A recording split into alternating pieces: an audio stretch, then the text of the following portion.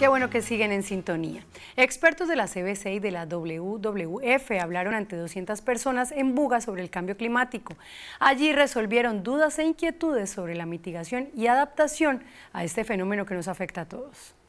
Alrededor de 200 personas asistieron al primer foro ambiental Cambio Climático, un reto ambiental de todos, en el municipio de Buga que lideró la CBC y contó con panelistas de la WWF y la Universidad Central del Valle, donde debatieron y despejaron inquietudes y dudas sobre la mitigación, adaptación al cambio climático y energías limpias. Este foro es un llamado a la comunidad educativa a cuestionarse un poco el tema de cambio climático,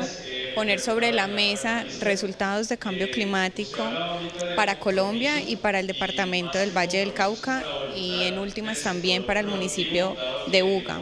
Durante el foro, profesionales de la Dirección Técnica Ambiental de la CBC presentaron las acciones actuales frente a la gestión del cambio climático en el Valle del Cauca, los nodos regionales y el Plan Integral de Cambio Climático. Un público que ha tenido una respuesta muy positiva frente a la problemática, frente a la temática del cambio climático, ha cuestionado